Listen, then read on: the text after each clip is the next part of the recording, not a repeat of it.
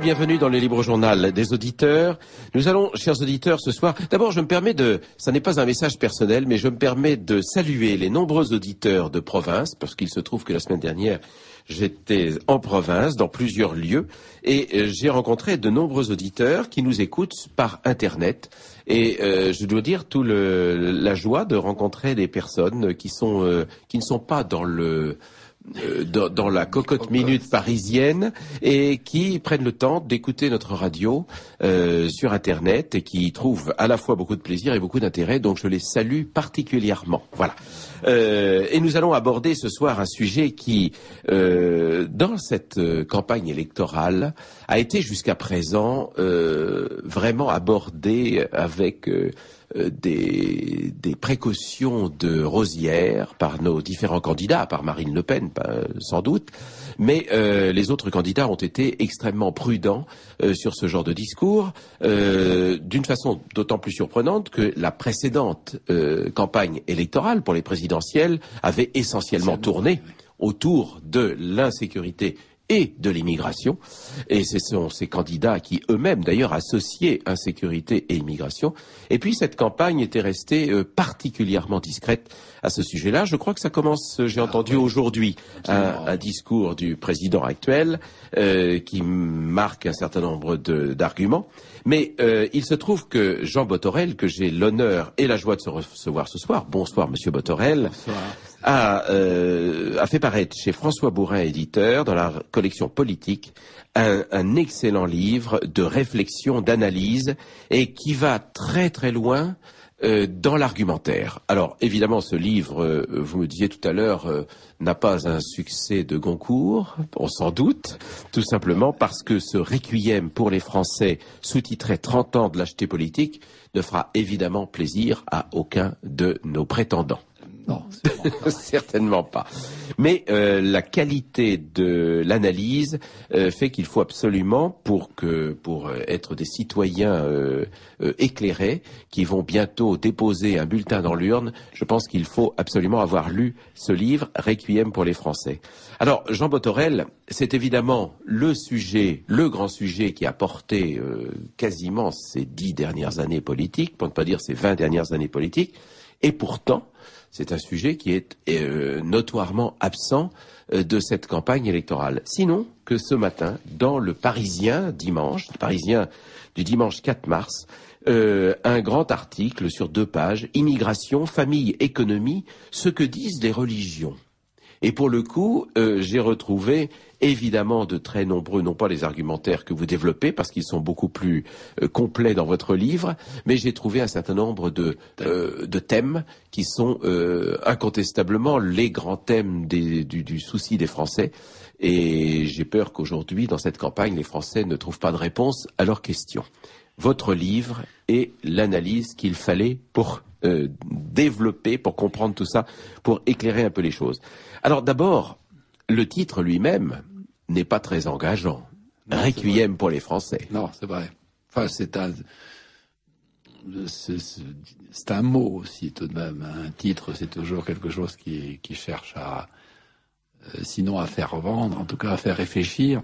Et euh, avant de, de, dire quelques, quelques mots là-dessus, je voulais quand même vous, vous remercier de, de, la manière dont vous avez parlé de cet ouvrage, avec beaucoup de, oui, enfin, c'est avec des termes très très flatteurs, si j'ose dire. Non, non, des non, termes mais... très vrais, très mesurés au contraire. Et, oui, alors j'ai titré en effet euh, ce, ce, mot un peu fort qui est requiem, euh, parce que ce livre porte essentiellement sur euh, la maîtrise des flux migratoires, pas sur l'immigration, bien entendu, mais surtout sur la maîtrise des flux parce que nous n'avons jamais eu de politique de maîtrise des flux. Mmh. Il faut être extrêmement honnête et clair sur ce point.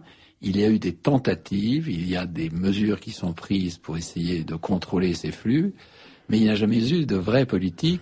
Et donc je me suis interrogé sur les raisons pour lesquelles nous n'avons jamais eu de gouvernement et de ministre de l'Intérieur en particulier qui aient été capables de conduire une vraie politique de maîtrise des flux comme ça se passe dans beaucoup d'autres pays, -hmm. y compris dans beaucoup d'autres démocraties. Eh bien, nous, chez nous, bon, ça n'existe pas. Donc, c'est parti de cette réflexion. Et de ce point de vue-là, en effet, je, je, crois que je pouvais titrer Requiem en espérant que la situation économique, la situation sociale et la situation internationale vont nous obliger, comme beaucoup d'autres pays, à enfin aborder, j'ai envie de dire avec une certaine froideur et sans idéologie, euh, ce, ce, ce problème. Parce que, euh, je peux le dire, avant cette émission, nous parlions de l'Asie du Sud-Est. Eh bien, précisément, ce sont des pays qui ont une, une politique de maîtrise des flux qui est très très forte. Et, Absolument. Et si, si, eux peuvent venir chez nous, je mets au défi quiconque d'aller chez eux et de trouver facilement à, l'équivalent d'une green card américaine, par exemple. Alors pourquoi nous n'avons jamais eu cette politique? C'est l'objet de ce livre et j'aborde en effet, euh, en gros, quatre thèmes. D'abord, j'explique je, et je, je, crois avoir bien démontré que nous n'en avons jamais eu depuis en gros 1970 à travers les différents gouvernements. Je fais une analyse relativement brève de, des tentatives qu'il y a eu. Ces tentatives ont toujours avorté, quelquefois parce que euh, du temps que la gauche était au pouvoir, en particulier parce que idéologiquement c'était incompatible avec leur, euh, leur discours, mais elles ont surtout avorté parce que dès l'instant où vous posez ce, euh, la thématique de l'immigration, vous êtes renvoyé dans vos cordes et vous êtes tout de suite traité de facho, de crispé, de aigri, de... et d'ailleurs on le voit pour revenir à une actualité d'aujourd'hui. Absolument. La gauche a déjà euh, sanctionné euh, euh, Nicolas Sarkozy parce qu'il a osé hier, je crois, dans un discours, aborder ce thème. Et, tout à fait. On a parlé, la gauche a tout de suite parlé de la, la, la République rabougrie, de la République crispée, les franchouillards, franchouillards la, la, République, le débat clivé, etc. j'ai relu euh, ce qu'a dit euh, le président sortant. Il n'y a rien là de, de, de scandaleux ni, ni, qui est attentatoire à, à n'importe quel droit de l'homme ou n'importe quelle démocratie. Donc c'est le sujet est tabou, mais il ne le restera pas. Il ne restera pas.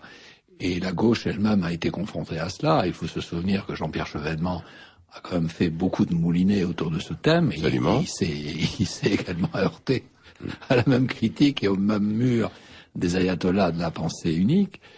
Et alors Charles Pasqua, en étant lui l'emblème, Pasqua a tout de même été dans les lois de 93 dont je parle.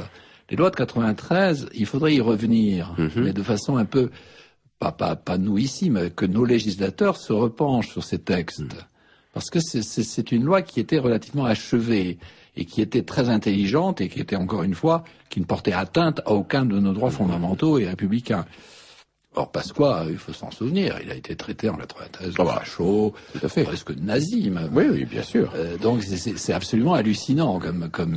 Donc ça c'est la première, le premier thème, première analyse du livre. La seconde, c'est que euh, je crois que une des raisons qui fait que nous n'abordons pas ce sujet, c'est que nous sommes en permanence conduit dans, devant le tribunal de, de l'histoire pour ce que nous avons été, c'est-à-dire une puissance coloniale importante, et que le sentiment de la repentance est devenu une chose absolument récurrente et qui repose sur une réalité, bien sûr, un pays colonisateur, un pays impérial, impérialiste n'est pas un pays gentil euh, systématiquement, mais l'analyse critique de notre passé colonial est également impossible à faire.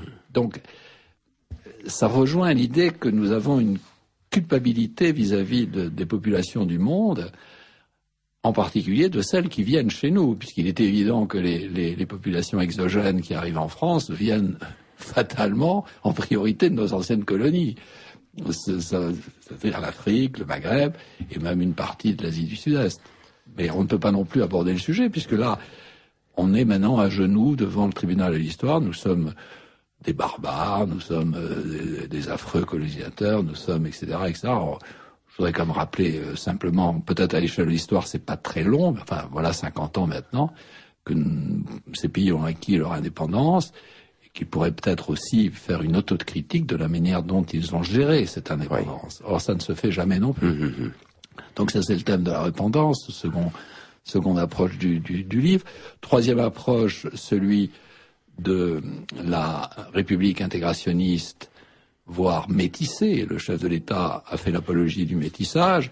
Je ne suis pas du tout contre le métissage, ce serait ridicule de l'être. Et euh, il y a du métissage partout, mais ça n'appartient pas à un chef d'État euh, de, faire l'apologie d'un thème aussi complexe, d'un concept plutôt aussi complexe. Et ça, il appartient à chacun de se métisser ou de pas se métisser. Si vraiment s'il y a un choix personnel à faire, c'est celui-là. Et, et, et, or le chef de l'État a été très très très en avance là-dessus. Il a créé la comme on sait, je sais pas si c'était créé avant, maintenant je, je... Bref, on était là aussi, on est de nouveau dans un corner, puisque on continue de, de faire croire à la France euh, que la France est une république intégrationniste. Or, c'est faux. Nous sommes entrés dans une république communautariste. Mm-hmm. Je ne sais pas ce que ça va donner. Je ne suis pas contre le communautarisme, ni pour, ni. Je, je, je, je dis simplement ouais. que la France n'est plus une république intégrationniste. Vous observez, c'est vrai. Cet objectif. Qu'on qu arrête de nous bassiner, si j'ose dire, avec ce thème, la France assimilationniste, qui intègre, qui est généreuse, mais on l'est, sans aucun doute, mais ça n'est plus. Le rêve d'une république intégrationniste est un rêve qui s'est achevé. Voilà. Et pourtant, il a bien existé. Nous avons, on y reviendra, je pense, nous avons intégré énormément de populations. Et ce qui m'amène évidemment au dernier point, qui est celui de, aujourd'hui, que veut dire notre République laïque et intégrationniste, et qui est confrontée non seulement à une population exogène maintenant qui est très importante, de l'ordre de 7 ou 8 millions de personnes, et qui, et qui est confrontée aussi à une religion maintenant quasiment dominante, qui est l'islam. Tout cela pose de vrais problèmes. Et je crois qu'on pourrait en discuter sans être aussitôt renvoyé dans ses cordes au nom d'un oui pseudo-humanisme et, et je n'ai jamais été ni fasciste ni ni euh, je sais pas euh, de, extrémiste j'ai été un peu extrémiste breton c'est la seule chose que j'ai euh, de mon, mon extrémisme enfin pourquoi ce pays la classe politique de ce pays et ça nous ramène à l'actualité, est incapable d'aborder un sujet fondamental? Oui. Je dis bien fondamental parce que c'est la société, c'est notre société et l'équilibre de notre société qui peut être mis en cause. Pourquoi ne peut-on pas l'aborder ça? Hmm.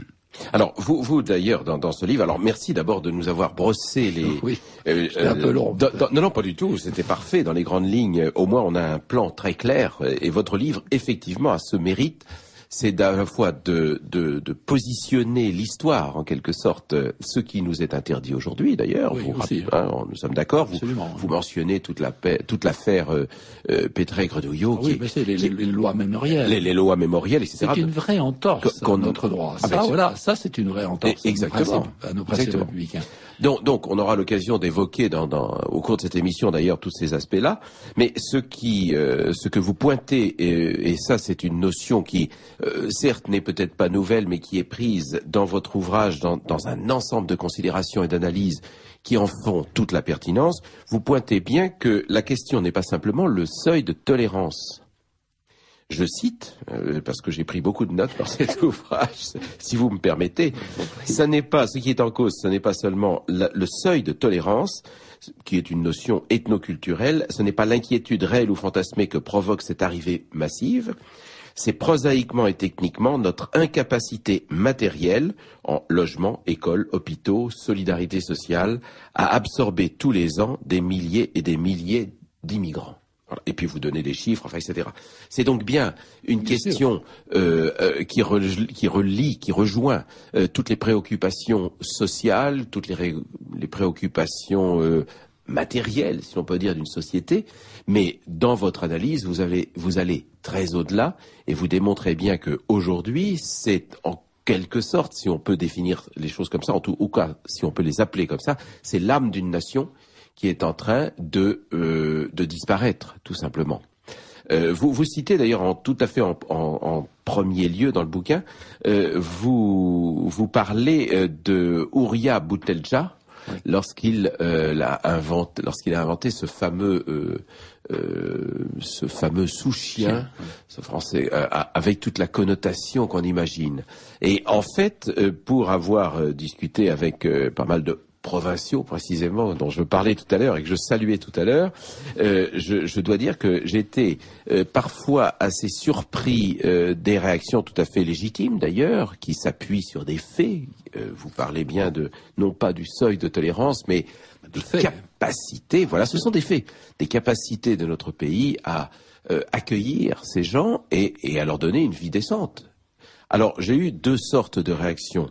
Euh, des réactions d'abord de sous-chiens, comme on les appelle aujourd'hui, n'est-ce pas, d'une façon euh, que je n'apprécie pas pour ma part, mais enfin bref, de, de, de sous-chiens qui, et qui sont, Français de souche. voilà, des Français de souche, au moins prenons-les comme ça, euh, et qui et qui s'inquiètent de plus en plus, même dans des milieux euh, pour lesquels je ne m'attendais pas du tout à ce genre de réflexions, qui sont parfois des réflexions aujourd'hui de rejet, ce qui est, ce qui n'est pas euh, plausible, enfin ce qui n'est pas souhaitable, mais de véritables euh, euh, rejets. Et puis alors, euh, par ailleurs, dans des dans des populations qui sont elles d'origine immigrée, mais qui ont choisi la France à une certaine époque et qui se sont engagés avec la France, le souci de ces gens d'être d'être amalgamé en quelque sorte avec des populations qui elles n'ont pas du tout l'intention de se euh, de, de, de s'impliquer dans notre nation. Le, euh, ce qui a beaucoup choqué, je crois, un certain nombre de mes amis euh, de marocains, français aujourd'hui, mais d'origine marocaine, c'est par exemple que des imams sur la place publique brûlent euh, des codes civils devant des forces de police qui n'interviennent pas. Voilà.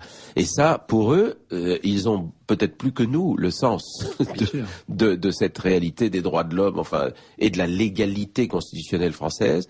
Et ce fait, ce fait divers, qui s'est reproduit quand même dans un certain nombre de villes françaises, euh, ce fait divers a beaucoup euh, choqué, choqué, et oui. inquiété oui. ces populations, qui se disent mais nous, nous avons choisi la France, nous sommes totalement intégrés, nos enfants parlent le français, ils sont euh, ils sont euh, français comme n'importe quel petit français, si vous voyez ce que je veux dire, euh, et ils seront, par leur nom, par, ils seront amalgamés à une minorité de personnes qui n'ont aucune intention de se fondre dans notre nation.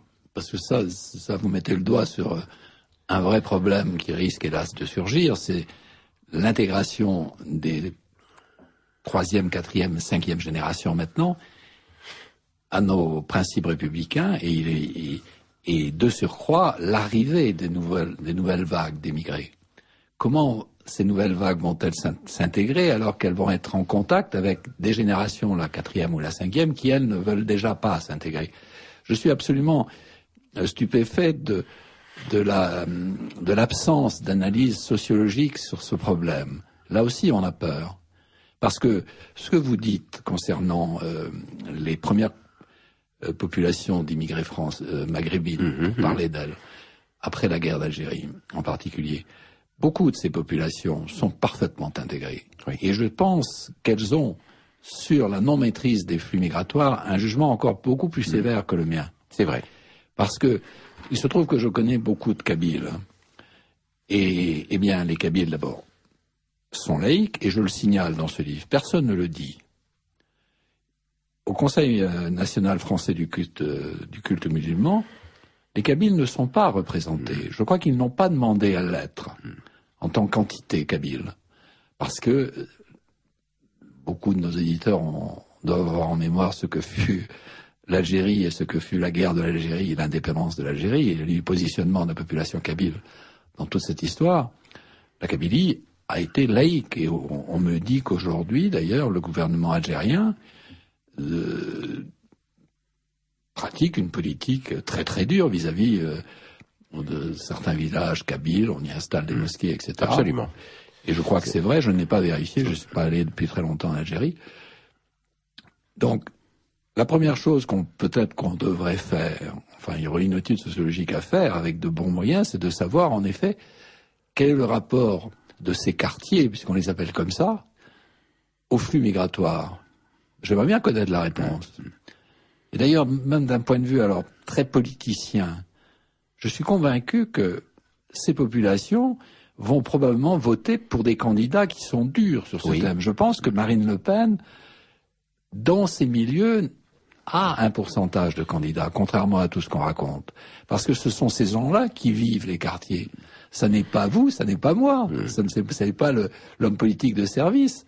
Ce sont ces gens-là qui quotidiennement mesurent la difficulté d'intégrer des couches de population de plus en plus nombreuses à nos principes républicains, mais au-delà de ça, à la situation de notre pays en termes en effet matériels. Il faut quand même être honnête. On va pas, on peut pas la France déjà qui, qui se considère plus comme une grande puissance, qui n'a pas de vraie politique de puissance comme on l'avait avant.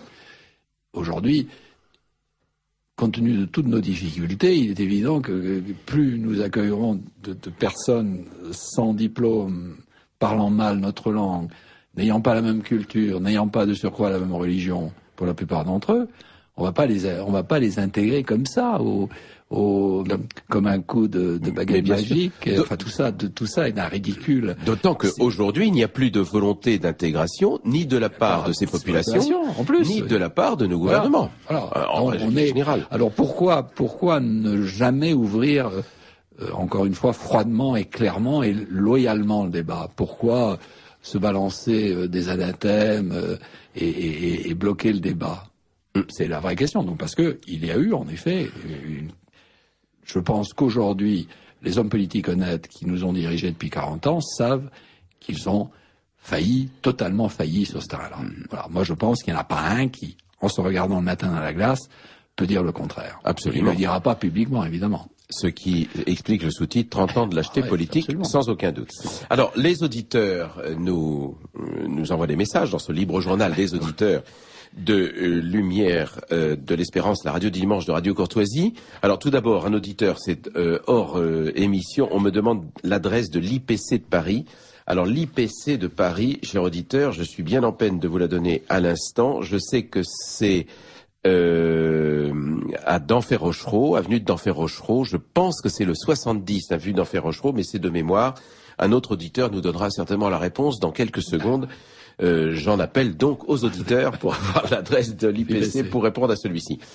Une auditrice nous signale que Marine Le Pen vient de tenir un meeting à Marseille et qu'une grande part euh, de, ce de ce meeting est pour la sécurité dans son programme. Oui, bien sûr, je l'ai dit tout à l'heure, je pense que Marine Le Pen est certainement la candidate qui en parle le plus. Et, et oui, alors on dit que c'est son fonds de commerce. Ben oui. Alors donc le débat est déjà clos. Voilà, exactement. À partir de ce moment-là, on ferme déjà toute euh, tentative d'explication. Or, ça n'est pas un fonds de commerce. Euh, il se trouve que, quel que soit le nom par ailleurs de la candidate ou ce qu'elle représente par ailleurs, il se trouve, et là je vous rejoins complètement, euh, que c'est effectivement le grand sujet qui devrait préoccuper les Français aujourd'hui. Euh, à égalité, mais plus encore, parce que là nous sommes non plus dans les conséquences, mais nous sommes dans les causes.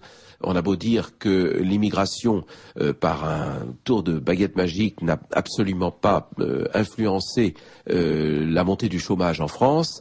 Euh, quand il y a un nombre d'emplois fixes, à partir du moment où ce n'est plus l'un qui le prend, c'est forcément un autre. Donc il y a forcément une cause de, euh, une relation de cause à effet. chose en effet complexe. Bon, voilà, c'est plus complexe que ça. vous le dites bien d'ailleurs. On le il faut quand même.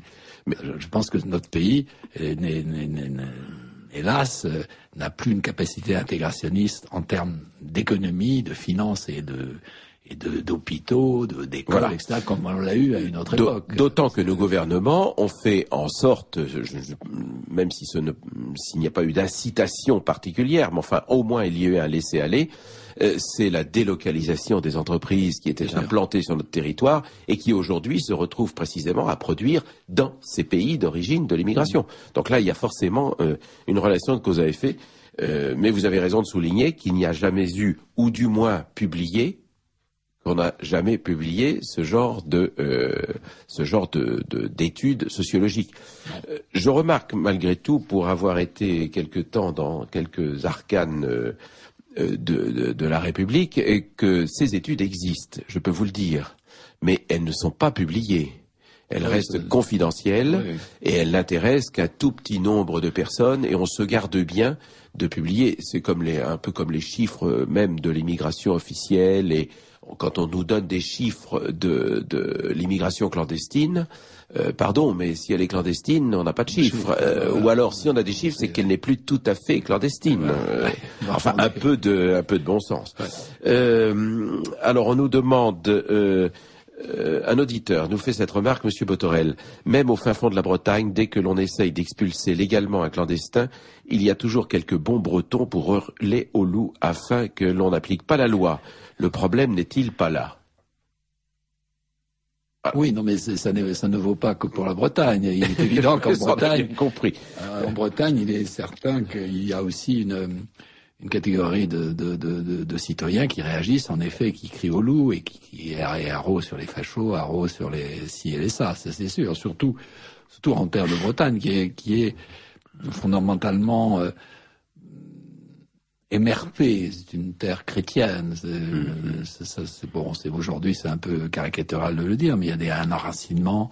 Et puis la Bretagne euh, a eu pour l'instant a été très peu pour l'instant confrontée au problème de l'immigration. C'est vrai. Il faut quand même aussi. Le, or ça va venir et, probablement que les les Bretons euh, observeront avec plus de lucidité la difficulté d'intégrer les populations exogènes. Peut-être devrions-nous d'ailleurs regarder un peu du côté de la Corse, car en Corse, effectivement, il y a une très forte immigration. Il y a eu une très forte immigration euh, de, de, du, de, population du Maghreb juste après la guerre d'Algérie, et que, euh, eh bien, c'est une région. Alors, j'idéalise peut-être les choses, mais c'est une région qui réagit beaucoup mieux que l'ensemble de la France. Euh, sur euh, précisément l'intégration ou la façon d'intégrer. Alors je, ne, je ne dirais pas que tout est parfait naturellement dans le meilleur des mondes, mais il y a quand même une réflexion qui est menée là. Euh, qui me semble être assez intéressante. un auditeur nous signale, vous oubliez de parler de ceux qui tirent les ficelles. La LICRA soutient à 100% les immigrés et à 100% Israël. Ça, on en parlera tout à l'heure il y a effectivement un certain nombre d'organismes en France, euh, largement subventionnés d'ailleurs, c'est là où on peut y voir la, complicité de, l'État dans son ensemble, euh, associations largement subventionnées qui soutiennent totalement l'immigration, et l'immigration la plus sauvage d'ailleurs, qui ne, qui ne veulent absolument pas entendre parler de, contenance du flux migratoire ou, quoi que ce soit. Et puis alors je signale également, euh, je voulais le dire tout déjà en début d'émission, euh, la France en danger. Alors ça n'a rien à voir avec votre livre, je le précise, mais les assises nationales se tiendront à Paris le samedi 10 mars 2012 à l'espace Charenton de 9h à 19h, 327 rue de Charenton dans le 12e arrondissement de Paris. Euh, et vous y rencontrerez, bah, vous y rencontrerez un certain nombre de d'orateurs naturellement qui défendront la nationalité, la, citoyenneté et l'identité. C'est l'objet de, des débats de cette journée des assises nationales à Paris de la France en danger, le samedi 10 mars. Euh, l'inscription euh, est à 10 euros et vous pouvez retrouver toutes les informations sur le 06 40 57 03 31 06 40 57 03 31. Je voulais le dire puisque c'est la prochaine manifestation de cet ordre qui parlera effectivement de la nationalité de la citoyenneté. J'étais invité d'ailleurs à, une table ronde et je peux pas. Euh, je, et vous ne pouvez pas vous y rendre. Euh, donc je suis désolé parce que j'ignorais en fait l'activité de cette association qui est basée en Bretagne. Oui, absolument, tout à fait. C'est Yann Valéry, je oui, c'est ça. Et une jeune, une jeune femme qui. Alors voilà, donc il y aura des stands, des dédicaces euh, et une possibilité de restauration sur place. Alors, euh, nous revenons, si vous le voulez bien, au, au, cœur de votre ouvrage. Euh, ce qui est tout à fait paradoxal dans cette affaire, c'est que euh, finalement, le, je dirais le, pour, pour globaliser le personnel politique et vous verrez bien dans mes propos, on peut euh, en enlever une partie, euh, on dit aujourd'hui entre 18 et 25% à la fois des Français et du, monde politique. Mais euh, on sait très bien que on sait depuis des années que l'immigration doit, devait, aurait dû être l'objet de toutes les observations de nos politiques et de nos sociologues. Pourquoi? Eh bien, vous citez très justement le fameux discours de Wari Boumenian du 10 avril 74, et vous en citez le texte d'ailleurs intégralement, page 8 de votre ouvrage, le fameux discours de l'ONU. et, vous y étiez, voilà, vous y étiez. Bon, donc, là, euh, il nous a, euh, nous a lancé euh, le euh, l'avis d'invasion en quelque sorte, et, et, pour nous, ce qui aurait dû être euh, un, un, avis d'observation de, accrue, c'est bien par le ventre de nos femmes que eh bien toutes ces populations du Nord Afrique vont investir l'Europe. Voilà. Bon, donc les choses ont été clairement édictées. Ça a été clairement dit. et au lieu d'une politique euh, mesurée, d'ailleurs, d'une politique intelligente, d'une politique, euh, certes, qu'on peut appeler de contrôle de l'immigration, mais en tout cas une politique d'accueil positif, puisqu'aujourd'hui on parlera de la discrimination positive, de cette oxymore tout à fait euh, catastrophique. Mais il aurait pu y avoir une immigration positive, à savoir un contrôle des flux à ce moment-là. On se dit, oh, très bien, on comprend très bien que ces populations euh, supportant mal les régimes politiques indépendants qu'ils avaient élus ou qu'ils avaient choisis, supportant mal euh, une certaine forme de misère aussi, il faut bien le reconnaître. je comprends très bien un père de famille maghrébin qui, n'ayant plus de quoi euh, élever ses enfants euh, partent ailleurs pour aller voir si c'est pas mieux ailleurs. C'est un réflexe humain que l'on peut comprendre. Euh, la force de ces gens, c'est notre propre faiblesse. Mais à l'époque, il faut reconnaître que nous avions aussi besoin de cette valeur. Alors voilà, c'est toute l'ambiguïté de cette. Mais on en avait besoin. Mais curieusement, je cite un ouvrage d'une sociologue, euh, politologue, qui avait publié un livre en 75, si ma mémoire est bonne. Je la cite longuement dans ce, livre. Pardonnez-moi, je, ne me souviens plus. Dites-moi, je, je retrouverai peut-être parce que j'ai pris beaucoup de. Euh, c'est cette femme qui a écrit un essai sur, qui avait interviewé près de 2000. Ah, tout à fait. Elle était euh, remarquable. Juliette Mince. Juliette Mince. Voilà, exactement. Et, vous avez toute cette enquête entre la page 22 et la page 36 de votre ce livre, le hasard faisait que j'avais connu ce livre à l'époque, puisque je, travaillais à la vie catholique. J'étais journaliste à la vie catholique et, et donc nous, ce journal était très engagé sur toutes ces questions. Hein. C'était euh, les catholiques de gauche, Vatican II, etc. Et, et ce livre, je l'avais complètement oublié et je l'ai relu mais tout y est. Tout ce qui se passe aujourd'hui est inscrit là-dedans.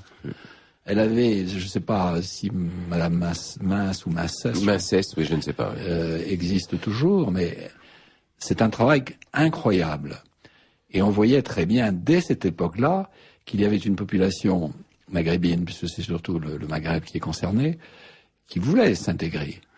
Mais il y avait déjà, parmi les jeunes, beaucoup qui disaient non, nous avons notre propre culture, nous avons notre propre règle. Mm.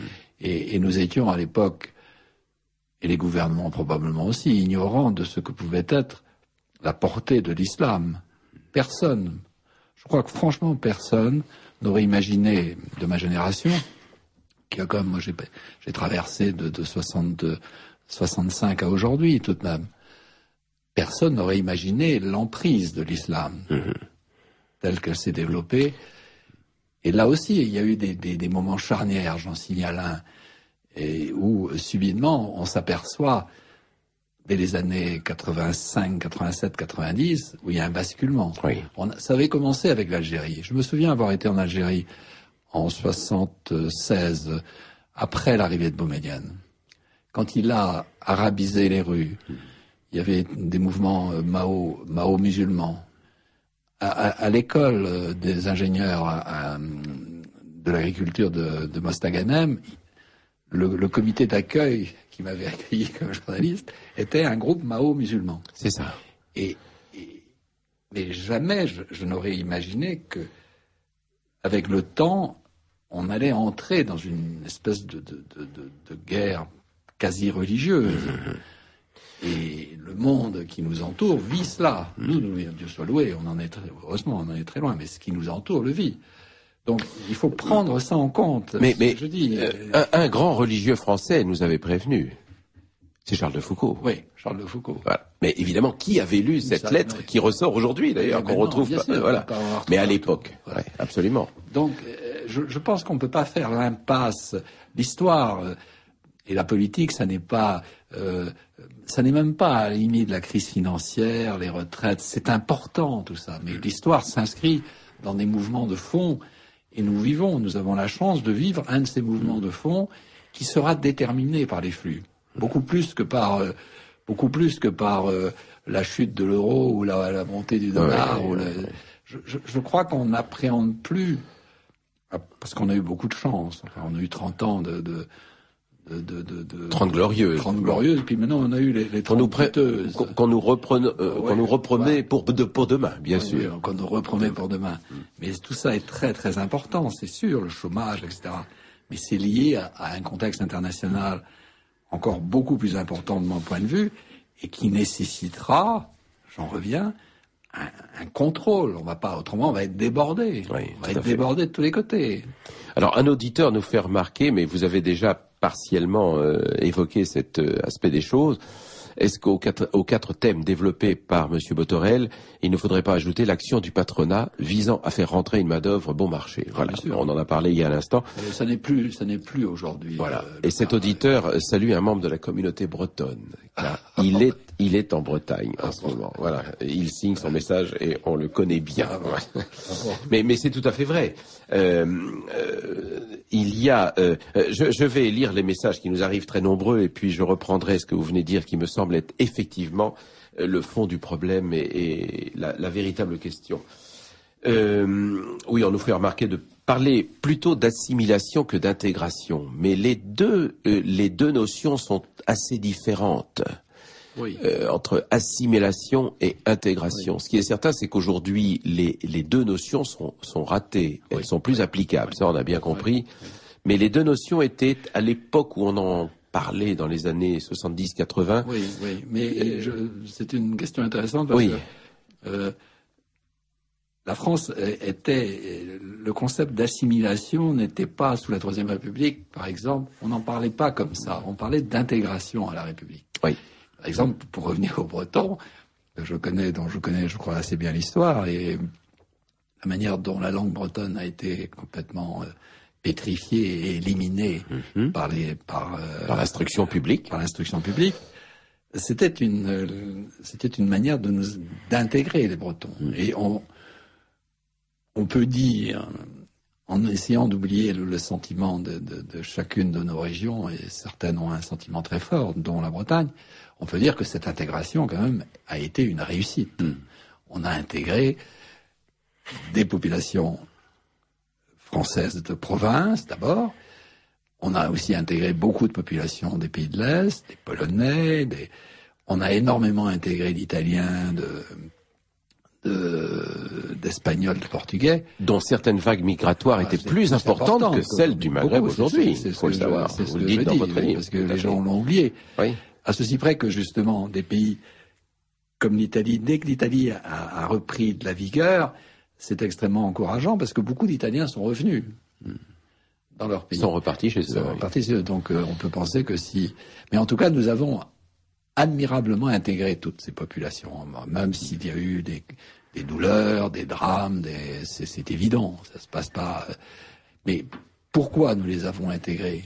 Parce que globalement, je sais que ça fait hurler, mais globalement, ils appartenaient à la même culture, à la même civilisation. Je, parle, je me fous de savoir si les civilisations sont égales ou pas égales, mais les civilisations sont autres. Mm -hmm. Au moins, essayons déjà d'admettre que nous n'avons pas la même civilisation en Europe que la civilisation l'Asie du Sud-Est, ou celle de la Chine, ou celle de, de l'Afrique subsaharienne. C'est évident. Donc, ils, mais là, pour le coup, ils avaient, en gros, le fond de notre histoire Mm. et le fond de notre religion. Ce qui se passe depuis comme maintenant 40 ans, c'est que les populations exogènes qui arrivent en France, encore une fois, je l'ai dit tout à l'heure, n'ont ni la même histoire, ni la même culture, ni la même religion. Et bon, ça, ça fait quand même beaucoup de choses. Et de sur quoi ils n'ont pas la même histoire, mais en plus, ils ont une histoire qui est accusatrice pour nous, pour la plupart d'entre eux. C'est-à-dire que nous sommes les anciens salopards d'impérialistes et de colonialistes, les anciens négriers, même on a essayé de le faire croire, et heureusement qu'il y a de, de, de, grands historiens qui remettent un peu les pendules à l'heure sur ce, sur ce, sur ce plan-là. Mais qui sont rejetés de l'université, ah, mais qui ont les pires ennuis. Qui, ont les pires ennuis. Donc, Par le politiquement correct. C'est extraordinaire à cause de, de, ces lois mémorielles qui, il y a aujourd'hui des chercheurs en histoire qui, à mon avis, hésitent à aborder certains sujets parce qu'ils n'ont pas envie d'être ah, mis au banc de la société. Vous recitez d'ailleurs le comité des 19, enfin, etc. Tout est expliqué dans votre livre. Hein, des gens, il y, a quand même beaucoup de grands historiens français qui ont pignon sur rue, qui ont été contre les lois mémoriales. C'est évident. Presque tous les grands. Tous nos grands historiens, pratiquement. Bah, c'est la négation même de la recherche historique, de toute façon. Voilà. Euh. Donc je ne comprends même pas qu'un pays comme le nôtre, avec notre passé, notre histoire et notre orgueil national, surtout vis-à-vis de notre culture, ait pu faire des lois comme ça c'est, je crois, euh, René Raymond, me semble-t-il, en tout cas l'un de ah ceux-là, qui, qui, a bien, euh, qui a bien dit que ces lois liberticides institutionnalisaient le délit d'opinion et qu'il s'agissait du plus grand recul du droit français. Bien sûr, mais il avait raison. vous aviez salé d'Elisabeth Badinter à René Raymond, en passant par euh, le roi Ladurie, je suppose.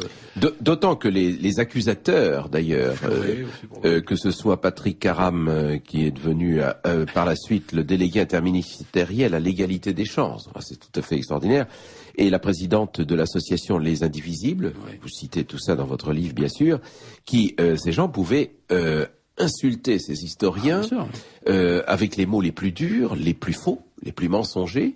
Et là, euh, le, le, Landerneau, euh, pardon, euh, mais la Bretagne m'est très cher aussi, mais le, le Landerneau ah, politico-médiatique ah, acceptait toutes ces insultes, rouler dans la rouler dans la boue, c'est.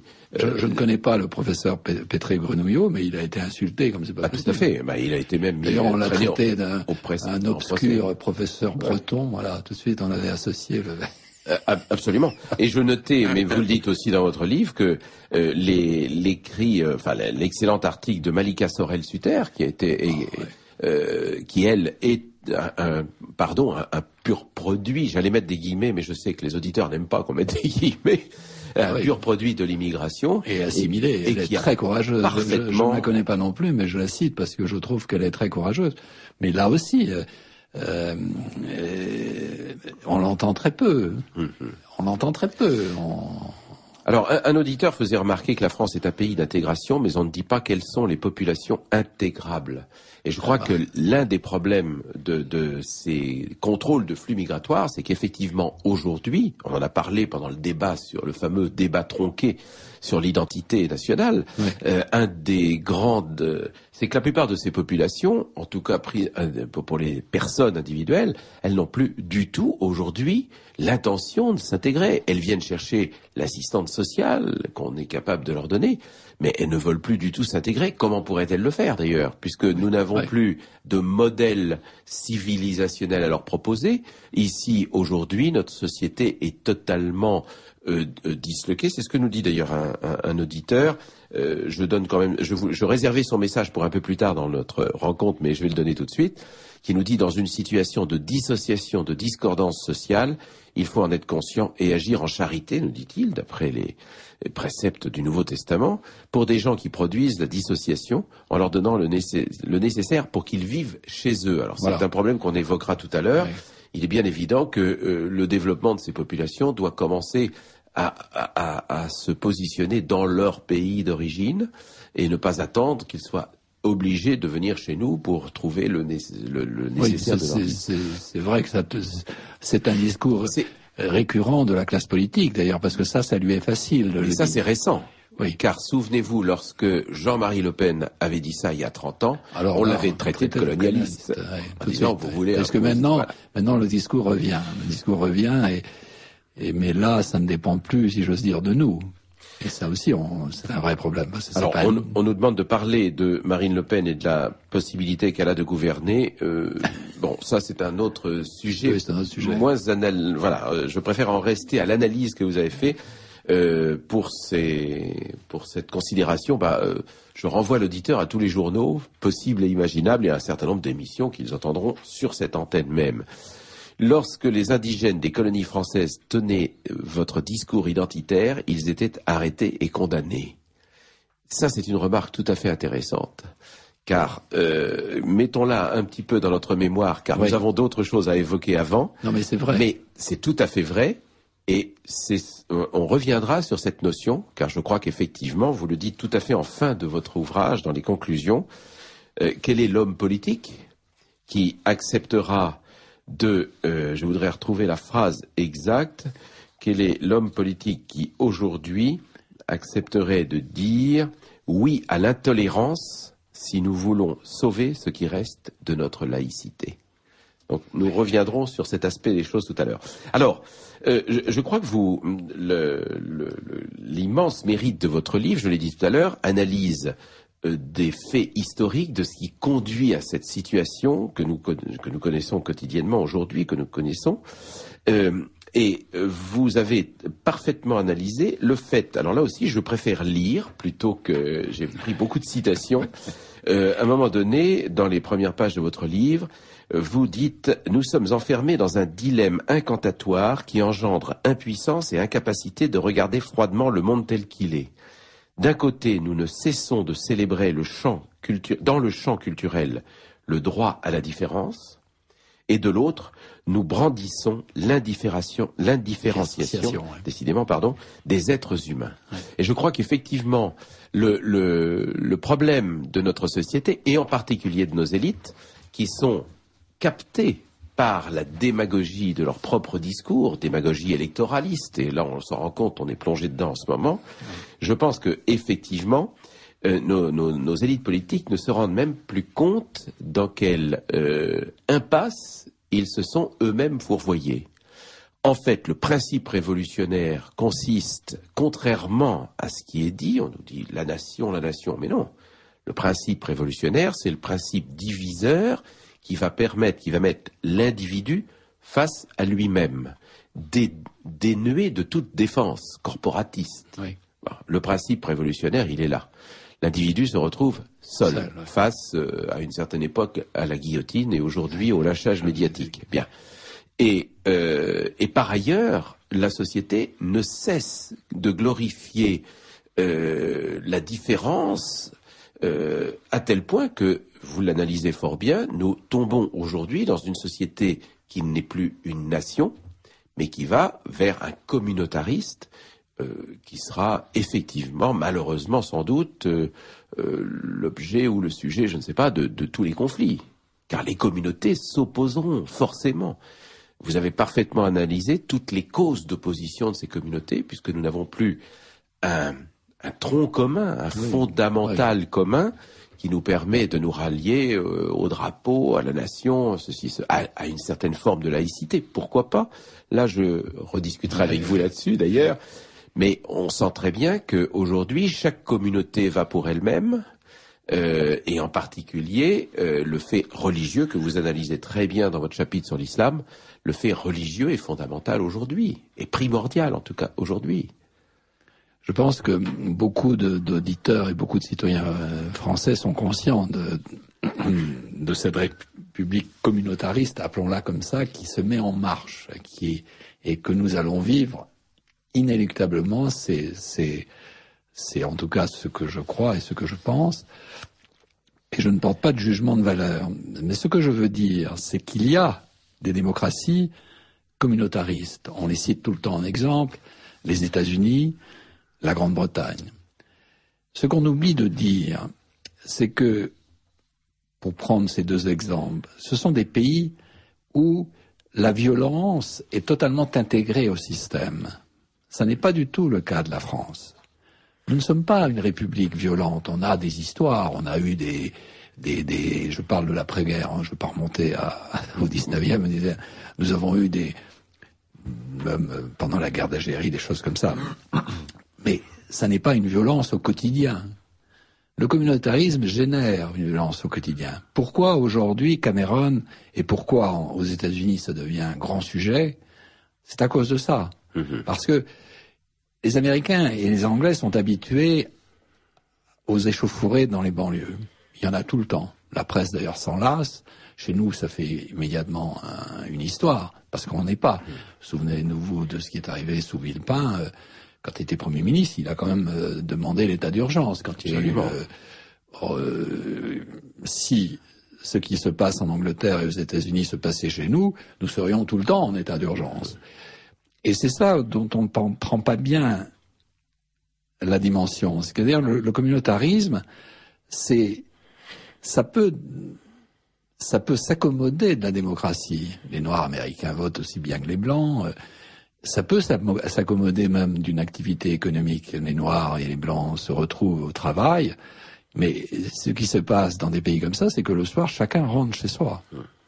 Et dès l'instant où vous avez des crises, alors de nature économique ou sociale, ça se met en ébullition. Et dès l'instant où vous avez des clivages racistes et religieux, alors c'est plus de l'ébullition, c'est de la bagarre. C'est ça.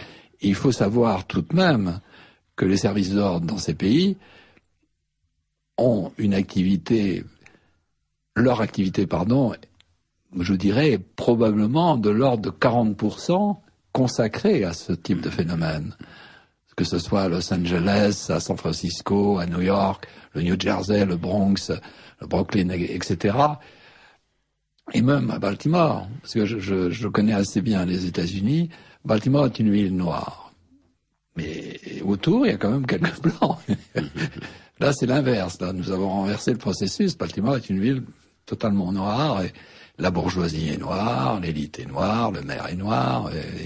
mais autour, euh, vous avez des communautés blanches, bien entendu, et des, communautés euh, mexicanos, des communautés euh, hispanisantes. Tout ça vit par moments en harmonie, mais tout ça, passez-moi le mot, par moments pète. Oui, oui. Et nous ne sommes pas. Je crois que là aussi, il y a une irresponsabilité de la part de nos hommes politiques de ne pas. Il ne s'agit pas de faire peur, mais il s'agit de dire, il faut savoir où on va. Nous avons changé de braquet, voilà. Et je, je, je, je reviens souvent au concept du nombre, donc de la démographie. Et c'est ça qui fait basculer. Quand on sera, quand il y aura 10 ou 12 millions de population exogène en France, on basculera fatalement. C'est la loi du nombre, on ne peut pas faire autrement. Je reviens là encore aux États-Unis, regardez ce qui se passe à la frontière euh, mexicaine. Le gouvernement fédéral américain fait énormément d'efforts pour essayer de freiner les flux. Il n'y arrive plus. C'est trop tard maintenant. Je ne sais pas si vos éditeurs le savent, mais je pense qu'aujourd'hui, le premier quotidien américain, euh, le, de Los Angeles, il me semble, et qui couvre tout le Nouveau-Mexique, etc., est en langue espagnole. Bien sûr. Ça n'est plus un journal en langue anglaise qui est le numéro un. Mais d'ailleurs, euh, la langue espagnole, enfin le, voilà. plus exactement le, le, sabir qui est parlé là-bas, est en passe de devenir majoritaire dans de nombreux États aux voilà. États-Unis. Donc ça, ça change énormément la donne politique, la donne sociale, et ça change énormément ce qu'on appelle le ciment sociologique d'un pays pas, je ne sais pas ce qui va se passer, mais au moins qu'on puisse aborder ce sujet. Vous dites très bien, page 17, euh, le défi que devront relever l'Occident et la France en particulier n'est pas uniquement de nature économique ou sociale, il est face à certains peuples, et plus exactement face aux dirigeants et aux fanatiques de certains peuples, de nature ethnique et religieuse. Bien sûr. Voilà. Parce que hélas, hélas, l'histoire est, pas moi qui l'ai dit, mais c'est Raymond Aron, et l'histoire est tragique, et, et nous allons, et quand on voit l'ébullition de toute cette zone euh, du Proche-Orient, du Maghreb, de l'Asie centrale. Et euh, j'espère qu'ailleurs ça va bien se passer, les pays émergents. Mais enfin, on va être confronté, on change totalement de modèle. On a la chance de le, vivre, d'ailleurs en direct. Et il y a des époques charnières dans l'histoire. Et, je pense que comparativement, je, je crois que l'on vit un peu ce qu'ont eu la chance de vivre les gens de la Renaissance sur d'autres sujets. En plus, il n'était pas en branché en direct comme nous, de nouveau. Et eh oui. Que... Mais c'est un peu ce changement que nous vivons et ça va être extrêmement dur de, de, de, de, l'aborder et d'y faire face, mais on y arrivera, on y arrive toujours, je crois. Et au moins qu'on en parle. Ce pays est complètement arriéré d'un point de vue idéologique. Voilà, au fond, ma pensée. On est dans des clivages idéologiques, mais totalement arriérés, ridicules, et ça continue, là. Bien sûr. Même le- en, le- 2000, en 2012, la campagne électorale Mais on est d'accord, le débat est... se remet sur des clivages et, et, et- et ces hommes politiques qui se battent entre eux sont en train de nous expliquer qu'il ne faut pas cliver le débat. c'est quand même le paradoxe. Mais c'est grotesque, c'est grotesque. On, on exclut en plus avec une espèce de, de, de, de, de- tout ce qui est un peu extrême, un peu moins Mélenchon, parce que c'est mieux, ça fait plus chic d'être ancien Trotskar ou Mao. Et mais alors Marine Le Pen, on la, on la, on la fout dans les cordes en permanence. Totalement. Et c'est lamentable, c'est lamentable. Elle a le droit de dire ce qu'elle dit. Elle dit rien qui, qui, qui moi me dérange, rien, Bah, c'est- c'est rien. c'est le jeu, euh, C'est le jeu de la démocratie. politique et démocratique, Ah, bien évidemment. et mais non, euh, ça sent mauvais, enfin des trucs, enfin, c'est insensé, Ouais, insensé. Alors, vous avez, je euh, continue quelques messages, car on nous reprocherait de ne pas les Oui, oui, lire. parce que c'est le jeu. Euh, voilà, c'est le jeu, tout à fait, mais c'est important de Non, pouvoir donner la, oui. parole jeu, aux auditeurs qui n'ont euh, nulle part ailleurs jamais la parole, d'ailleurs, Ah on oui, le sait bien. oui. Alors, une auditrice nous dit, j'ai vécu dans un quartier parisien où des, où des Africains, dit bien, dit-elle, étaient odieux. J'ai été à Verdun et j'ai prié sur la tombe des tirailleurs africains. Oui, bien sûr, parce que nous avons... euh, euh, on, sait très bien, on l'a évoqué d'ailleurs tout à l'heure, toute cette partie de, de- de- des immigrés qui ont choisi la France euh, et qui ne se retrouvent pas évidemment dans les dans les discours communautaristes parce que eux avaient choisi précisément de s'intégrer dans dans notre société. Pourquoi ne parlez-vous pas de la CIMAD qui accueille tous les tous les immigrés? Il faut les condamner pour entretenir cette population et les, euh, qu'ils les entretiennent eux-mêmes. Alors là, j'ai une toute petite anecdote que je me permets. euh, je ne veux pas raconter ma vie, on n'est pas là pour ça, mais euh, lorsqu'il y avait eu cette affaire de l'occupation d'un gymnase à Cachan par, je crois me souvenir, des Maliens. et je m'étais rendu pour voir ce qui se passait. La presse en avait largement rendu compte. Il y avait toujours quatre ou cinq équipes de télévision sur place. Et euh, les, les gens du... euh, je, je, il n'y a pas de cochon sur la table, je suis désolé, je, les gens du showbiz euh, étaient venus pour soutenir... Ah oui, euh, je vois le technicien qui s'affole absolument de ne pas retrouver le cochon. Bien, euh, le, le cochon, c'est le... Oui, quand on euh, voilà.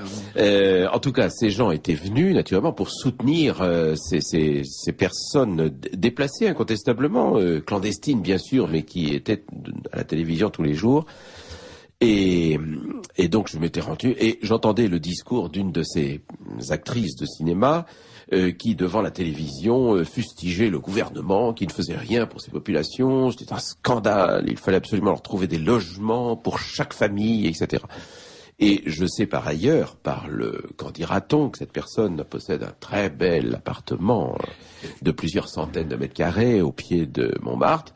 Et, et je me suis permis de faire une réflexion en disant, bah, écoutez, vous qui avez un, un 400 mètres carrés, eh peut-être pouvez-vous prendre quelques-unes de ces familles, parce qu'il faut payer de sa personne dans ce cas-là pour accueillir. L'accueil, c'est ça, bien, etc. Et je me suis fait traiter de petit con. Euh, c'est Ah bah, évident.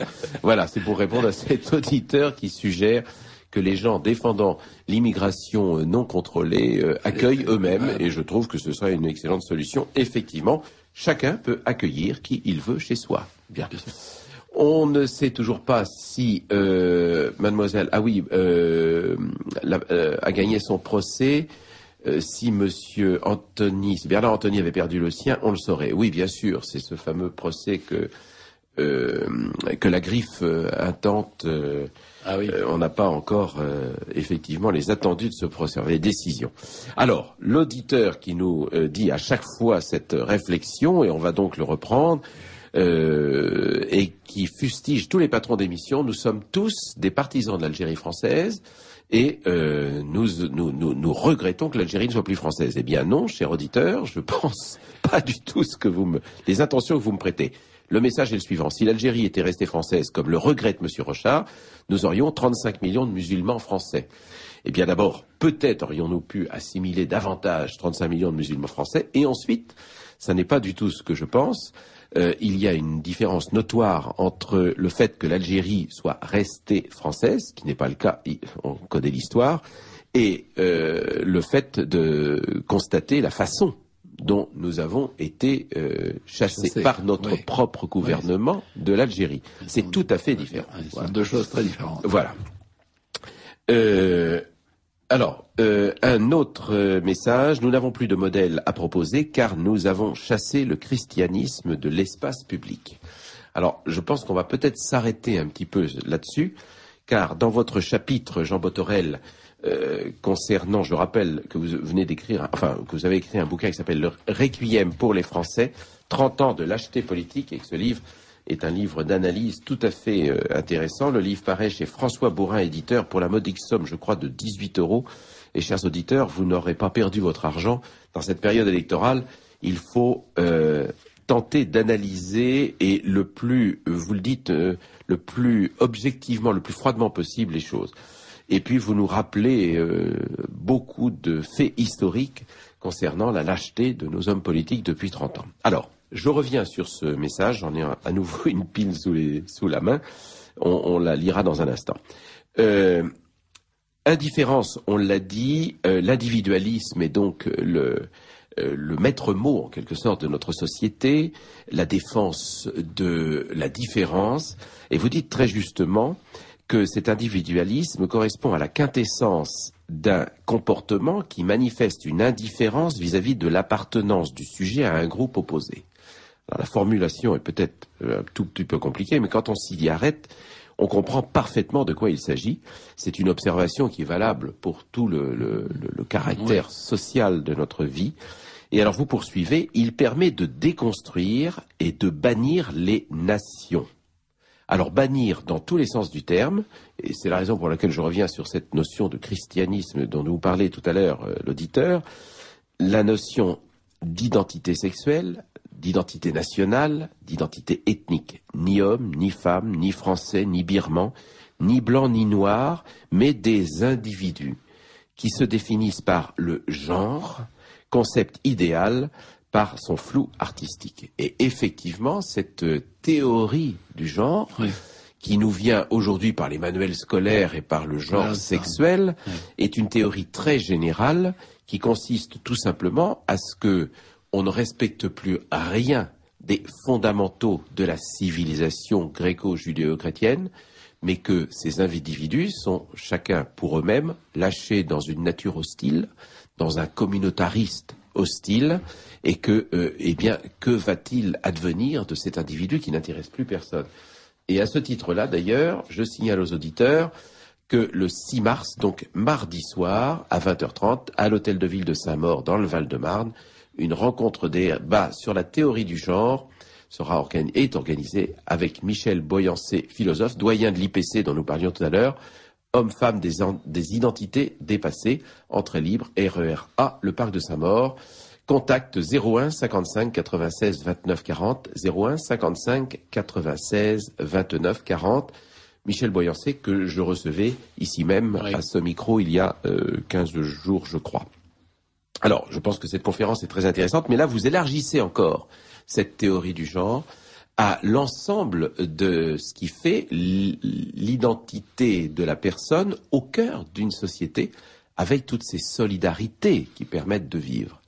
Et l'analyse que vous en faites est tout à fait intéressante, puisqu'elle amène tout droit à la politique des quotas, politique des quotas dont, on, dont tous les hommes politiques se défendent, oui. et qu'ils mettent en place en permanence. Ah, évidemment. Voilà. Et nous arrivons très vite à cette fameuse conception de Sarkozy, du président Sarkozy, sur cette fameuse discrimination oh, positive qui consiste à discriminer mais de façon positive, mais de façon positive.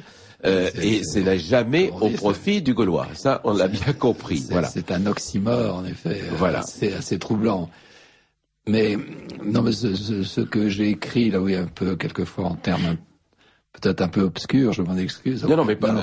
Euh, pas enfin, du tout. Il suffit de, de prendre le temps de la lecture oui. voilà, et de la réflexion, oui, ce que non, vous faites que, dans votre livre. Oui, mais parce que j'essaye en effet d'être toujours assez clair et c'est vrai et, et un, peu, un peu mordant parce que c'est mon style, plus dans sous la plume qu'en parole d'ailleurs. Euh, non, la théorie du genre, en effet, il, il faut la prolonger. Et je ne savais pas que quelqu'un faisait un, un débat là-dessus parce que c'est extrêmement intéressant parce que c'est aussi quelque chose qui n'est pas très apprécié. Parce que c'est fondamentalement, c'est lié à quoi toute cette affaire de l'indifférenciation des sexes On est tous pareils, quoi. Bon, pour, pour, pour faire simple et pour faire café du commerce, on est en train de nous expliquer que euh, que trois vaut deux, que deux valent trois, et qu'il n'y a, pas de différence de sexe, il n'y a pas de différence de ci, il n'y a pas de différence de couleur de peau, il n'y a pas de différence de. Enfin, c'est totalement absurde, mais c'est lié cela est lié pour moi, et je ne sais pas si mon analyse est juste, c'est lié tout de même à ce qu'on appelle la, le mondialisme. On ne peut pas déconnecter euh, ces phénomènes euh, dits du genre à la mondialisation. Tout ça va ensemble. Parce que le citoyen n'est plus un citoyen. Hmm. Ça devient, c'est banal de le dire, mais ça devient un consommateur. Ça devient un producteur, ça devient un travailleur, ça devient tout ce qu'on veut, sauf un citoyen qui s'enracine dans une histoire qui est celle de sa patrie, qui est celle de sa nation, qui est celle de son village, même initialement. Mais ça, ça n'est pas accepté. Ça fait vraiment ringard de dire cela. Donc, on est arrivé à, à, cette théorie des genres, mais je vais plus loin parce que je pense que on est arrivé à une autre théorie qui est celle des marques et qui se déplace parce qu'avant les marques ça touchait euh, les yaourts, ça touchait les voitures, ça touchait les, les, réfrigérateurs, etc. Mais ça commence à toucher les œuvres euh, culturelles. Ça commence, ça les touche. Oui, oui. Parce que aujourd'hui, ça touche les journaux, par exemple. Le Figaro n'est plus un journal, c'est une marque. Donc, autour du Figaro, vous avez Le Monde, pareil, vous avez 15 produits Figaro, 15 produits Monde. Et je constate, ça lui fera pas plaisir, parce que je l'aime beaucoup, mais je constate qu'un auteur comme euh, euh, comment s'appelle-t-il le, le, qui est très très connu, euh, qui fait des grandes sagas historiques, qui en fait une. Max Gallo. Max Gallo. Hmm. Max Gallo, qui est un auteur à succès, qui est un, vraiment quelqu'un que je respecte beaucoup. Mais Max Gallo est devenu une marque. marque. C'est extraordinaire. c'est pas la chance de, de Jean Botorel. patience peut-être. Mais voilà. Alors nous avons et, tout ça procède de la même chose. Et au, fond de, de, de, de, ce processus, qui est l'individualisme, en effet, et le matérialisme, hein, il faut quand même. Mm-hmm. D'ailleurs, on, ne m'a pas attendu et on ne nous a pas attendu pour faire le lien. Procède en effet de cette mondialisation et, et de cette société de consommation, de cette, de, cette notion de croissance que l'on a et, et, qui quand même euh, bute sur aujourd'hui sur beaucoup de choses. Et je peux pas dire qu'on ait vraiment réussi d'un point de vue seulement matériel à faire beaucoup progresser le monde. Quand on voit la, la, la misère qu'il y a dans sur tous les continents. et, qui augmente, et qui augmente. Et qui augmente. De façon en, en, tout cas, ça, ça, part de là. Parce que l'indifférenciation des, des, des, des individus, c'est formidable pour le commerce. C'est formidable pour l'économie, puisque il ne s'agit pas de, de, de, de, de, vous vendre quelque chose qui, qui puisse s'attacher à votre culture. Ça, ça, serait trop compliqué. Il faut, au contraire, faire en sorte de trouver une culture passe-partout, un produit passe-partout, et qui, qui d'ailleurs, euh, vous avez l'unisex, parce que ça a commencé comme ça. Les, les, costumes unisexes, les pantalons unisexes. Les... Exactement. Or aujourd'hui, c'est tellement entré dans, dans, la, dans, dans, dans la tête des, des consommateurs que c'est même quelque chose qu'on ne fait plus. Je, on ne va, va, pas demander un magasin. Moi-même, j'en suis surpris. Je vois un jean. si je m'achète un jean, ben, j'ai passé l'âge d'acheter des jeans, mais j'en ai encore quelques-uns.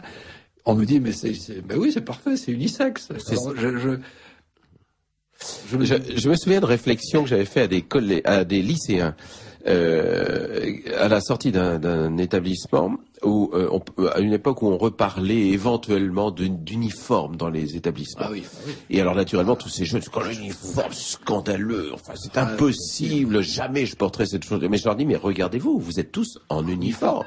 Et ils étaient effectivement en uniforme, complètement en uniforme. C'était absolument, euh, euh, mais, mais sans aucune conscience de, de, porter tous le même blouson, tous le même pantalon et tous la même marque de chaussures. Alors, vous le dites d'ailleurs très très bien dans votre euh, analyse, donc dans ce livre, la mondialisation n'est ni plus ni moins qu'un néo-totalitarisme. Oui, je, je, là je sais que quelqu'un va en faire réflexion. Je crois que c'est Marine Le Pen qui qui a parlé de la mondialisation est un totalitarisme. Oui, absolument. Mais Et- elle- elle a raison. Et vous parlez de, de ce transfert de l'Homo sapiens, euh, euh, qui était Homo sapiens sapiens d'ailleurs, n'oublions pas, et, et qui aujourd'hui est Homo economicus euh, cosmopolitus. Ah. Ouais, mais c'est tout à fait ça, c'est tout à fait. Alors, je me permets euh, le, le, le- temps. le cosmopolitisme renvoie à la, à la théorie des genres. Absolument, absolument. Et, et alors ça, pour le coup, c'est mais voilà. qu'on ne, qu'on ne nous l'impose pas. Voilà. Euh, Et, et pour le coup, c'est parfaitement analysé. Vous citez le sociologue allemand Ah oui. Ulrich Beck, Oui. qui a fait des études sur cette Ah, il est- il est- cosmopolitisation de. cosmopolitisation, cosmopolitisation. de, de- de la mondialisation. Exactement. Alors, je poursuis les messages parce qu'ils sont très très nombreux. Euh, il y a un problème basique. Les immigrés sont là pour des flux de capitaux. La France est un pays trahi par cette classe politique. Euh, euh, je suis kabyle, nous dit cette auditrice, et nous sommes quatre ou cinq personnes qui voteront Le Pen. Euh, un auditeur, une certaine communauté peut lutter contre les mariages mixtes, avoir des écoles qui recrutent sur critères sociaux et être absolument intouchables. Ça fait partie du du communautarisme que nous subissons, oui, effectivement, et que nos hommes politiques ne maîtrisent plus d'ailleurs, puisque il y a cette euh, Alors, euh, quasi volonté de, de renvoyer les communautés les unes par rapport aux autres. Alors, je- je- tous les leaders politiques euh, occidentaux, on le remarque, sont en train de revenir sur des propositions qu'ils avaient faites, euh, allant dans le sens justement de, de, de cette volonté d'indifférenciation. Mais là, je- j'entends maintenant que Nicolas Sarkozy a, a dit qu'il ne souhaitait pas euh, le vote des, Des étrangers. des étrangers. Euh, donc on sent, parce que tout- tout- tous savent très bien que, que le discours, que le discours sur, sur ce- tous ces thèmes-là est, est totalement faux. Mm.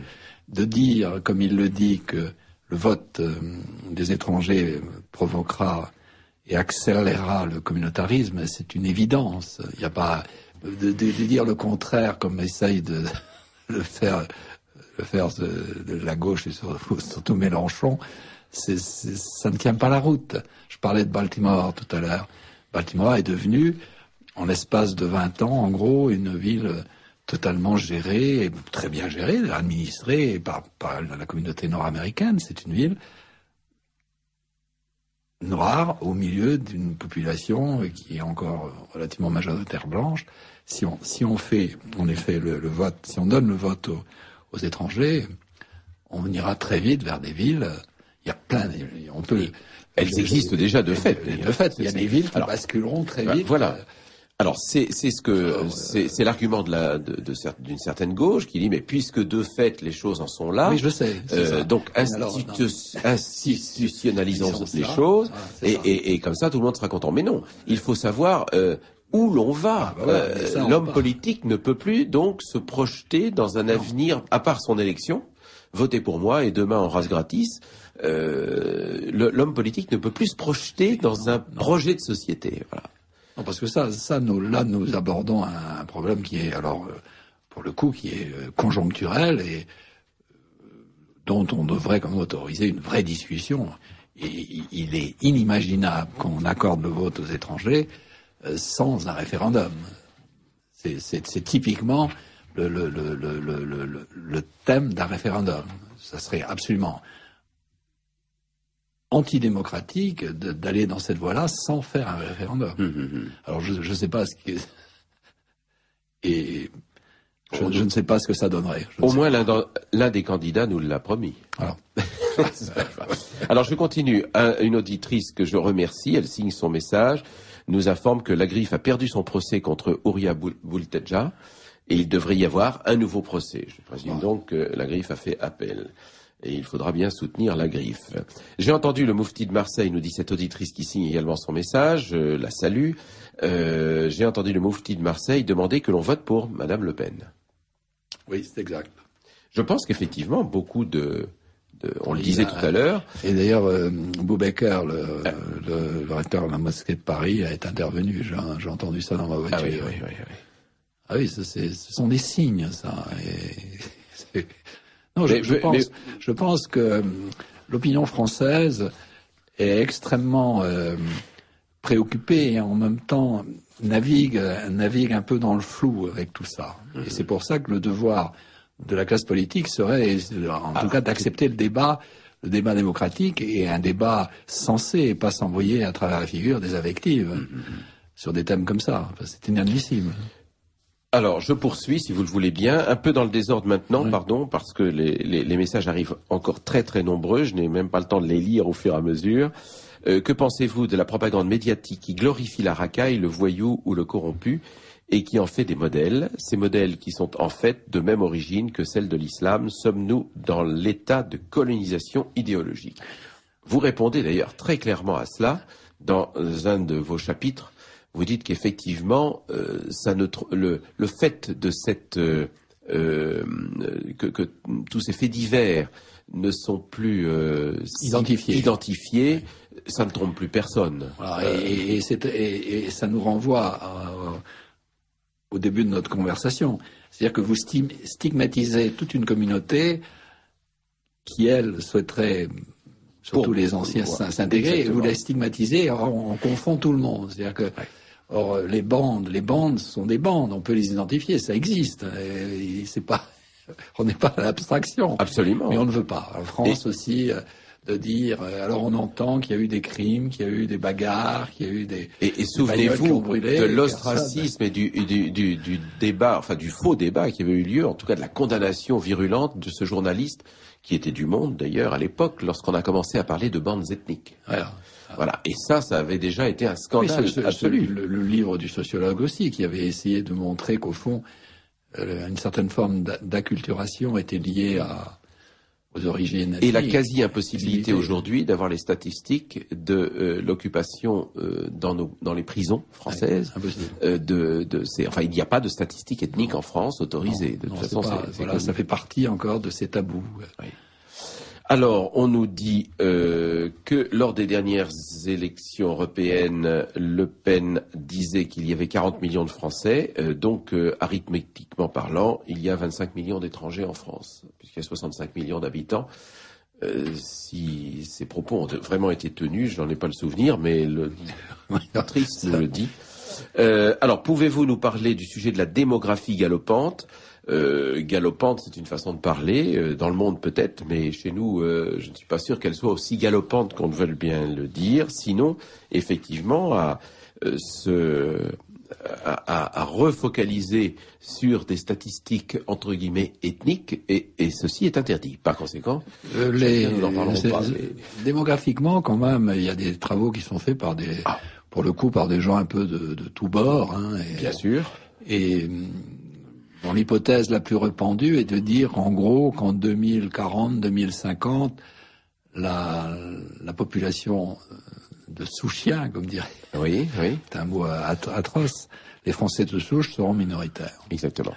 On sera minoritaire et ça va, ça ne peut pas ne pas changer les choses. Je reviens toujours à ça et, et ne pas le voir. Et les États-Unis, pour revenir à ce pays que je connais assez bien, euh, le débat américain regrette euh, depuis les années 70-80 de n'avoir pas de nouveau abordé ce thème. Et la, la classe politique américaine était sur était là-dessus également complètement musclée. Absolument. Or, l'Amérique constate aujourd'hui que le communautarisme tel qu'il euh, prospère n'a plus rien à voir avec celui des, des, des, des, années même 60, qui était lié comme à la fracture noir-blanc. Absolument. Parce qu'aujourd'hui, la fracturation est énorme. Et l'intégration, par exemple, dans le Nouveau-Mexique et, et tout, tout, autour de la frontière mexicaine. Et alors là, pour le coup, le, le, le concept du drapeau américain qui, qui avait été comme un, un point de soudure, indéniablement. Mmh, mmh, mmh. Même le concept de Dieu. C'est Dieu était, dans tous les discours. Et Obama euh, commence toujours ses discours également en rendant hommage à Dieu. Ça, ça, ça fonctionne de moins en moins. Oui. C'est-à-dire que on, va vers, un, comme je l'ai dit de grands bouleversements qui, qui seront bon difficiles, mais que nous qu'on assumera. Mais pas, pas avec l'infantilisme actuel de notre classe politique. Alors, j'ai encore un sujet à aborder avec vous qui est fort important, c'est celui à la fois de l'islam et de la laïcité de notre société. Mais auparavant, deux, deux messages encore d'une auditrice. Merci pour votre émission. Ce flux migratoire est dû grâce à Monsieur Chirac. Alors là, vous faites l'historique complet euh, ça n'est pas seulement Monsieur Chirac, euh, chère auditrice. Il faut reprendre les textes, euh, voilà. les, premières. Avec le, pardonnez, je, je vais terminer le message. Avec le regroupement familial, 85% d'enfants d'immigrés sont dans les classes. C'est vrai. mais, l'idée du regroupement familial, je n'ai pas d'action chez, chez, Giscard ou chez Chirac. L'idée n'est pas venue de, de, Chirac et Giscard. L'idée, c'est les circulaires Marcelin-Fontanet mm-hmm. qui ont, pour permettre aux, aux, Maghrébins de mieux s'intégrer, on, demandait aux industriels de leur euh, donner un logement. Et dès qu'ils ont eu un logement, on les autorisait à venir. Et évidemment, dès qu'ils ont eu eux-mêmes s'installant, on, très, on vite voilà, on modifie, voilà, on modifie une, immigration de travail, dans une immigration de population. Mais le concept, le concept de, de, le regroupement familial, l'expression est née sous Giscard. Mais ça, c'est ça, c'est c'est plutôt des hasards de vocabulaire que des intentions politiques. C'est typique de, de, de, de, la mentalité de l'époque. Giscard était polytechnicien, il fallait conceptualiser, et donc on a appelé ça le regroupement familial mais il avait bien commencé avant. Hein, Alors, euh, ceci, je renvoie à ce moment-là, cette auditrice, à votre livre, parce que tout est très clairement avec les textes, les dates, les références, tout est très clairement expliqué. C'est un argumentaire important d'ailleurs, pour euh, surtout en campagne électorale. Un auditeur, félicitations également pour cette émission, merci. Quelle serait l'origine au niveau historique de cette pathologie collective qu'est l'ethnomasochisme avec des cultures non européennes incompatibles avec la nôtre? Ah, c'est une, question euh, très, très, très importante et très difficile. Je, pense que toute l'idéologie de la décolonisation, qui avait un, son bon côté, ou l'histoire en tout cas a permis à des tas de pays de, de, devenir indépendants, que ce soit bien ou mal, quoi qu'on en pense. Mais en tout cas, toute l'idéologie de la décolonisation, il faut quand même s'en souvenir, était fondée sur la tradition marxisante française. Mhm. Ça, c'est clair. Nous avons chez nous, depuis euh, le début du XXe siècle, et même à la fin du XIXe, à travers l'école normale, l'école normale sup, hein, une infiltration de nos esprits par l'idéologie marxiste puissante, très très puissante. Et peu de nos intellectuels, peu de nos hommes politiques, peu de nos ont échappé à cette infiltration. Et la décolonisation a été, a été perçue comme un péché. Mhm. Et à la suite de quoi, 20 ans après l'indépendance, les indépendances plus exactement, ces gens, ces populations devenues libres ont commencé à s'interroger et à nous demander des comptes. Et ça a géré et généré ce complexe de la culpabilisation, de la repentance, des lois mémorielles et ça, je pense qu'on peut plus aller plus loin. Parce que là, bon, ça va, on arrête. Parce que, si j'ose dire, on s'est agenouillé, on ne va pas continuer éternellement, ou bien alors... Donc, c'est né de cela. Et en, dans un certain sens, euh, l'intelligentsia française est indécrottable. Elle, elle, elle est fondamentalement marxisante. Hmm. Et elle l'est encore. Alors ça se perd, ça se perd, c'est vrai. Parce que maintenant on ne sait plus ce qu'est Marx, mais c'est notre tradition et c'est lié à l'université. Mais, mais vous avez très bien analysé d'ailleurs là encore la, chose. Euh, euh, vous, vous, vous, écrivez alors page dans, dans les page 16 exactement. Du respect de l'autre, nous avons glissé au début des années 90 vers la culpabilité vis à -vis de l'autre et nous ne sommes plus très loin de la démission devant l'autre. Ah. Pendant que s'opérait cette métamorphose, l'autre faisait le chemin inverse. Ah loin de prendre en compte nos remises en cause, nos repentirs, il a développé un discours de plus en plus arrogant et belliqueux. C'est ça, c'est ça, c'est Ça répond parfaitement à la question de l'auditeur. Alors, je, je, signale d'ailleurs, je rappelle aux auditeurs un livre absolument fondamental paru aux éditions, à aux Indo-éditions. Alors, c'est plutôt axé sur la décolonisation des pays asiatiques. Un livre de Paul Rignac, Euh, mais il est, c'est un livre qui est tout à fait fondamental et qui explique très généralement tout le phénomène à la fois de la décolonisation, la façon dont ça s'est passé, et de ces phénomènes de repentance que nous avons vécu ici. Merci. Euh, le, temps nous est, est, imparti et j'avais encore beaucoup de questions à vous poser. Voyez-vous, je n'en étais qu'à la page 3 de mon, de mon petit mémoire et il y en avait 5. Par conséquent, il faudra revenir. C'est moi qui vous remercie En tout cas, je rappelle aux auditeurs ce livre vraiment que, que je considère comme fondamental car euh, dans cette période électorale, euh, on risque d'être euh, fasciné ou aveuglé par le discours des hommes politiques, discours forcément un peu démagogique, en tout cas pour certains, suivez mon regard, et par conséquent, je ne peux que recommander ce Requiem pour les Français, 30 ans de lâcheté politique, édité chez François Bourrin, dans la collection politique, tout simplement. C'est de Jean Botorel, B-O-T-H-O-R-E-L. Et je suis absolument ravi, euh, pour la modique somme, très modique somme de 18 euros. Et là, vous avez une somme euh, d'informations et d'analyses tout à fait intéressante. Et puis, en aparté, je voulais vous remercier pour un livre pour lequel je ne vous avais pas invité, euh, Jean Botorel, mais je le regrette bien, c'est Toi mon fils. J'ai lu il y a quelques années. Voilà. En tout cas, merci, Jean Botorel pour ce livre important. toutes ces questions.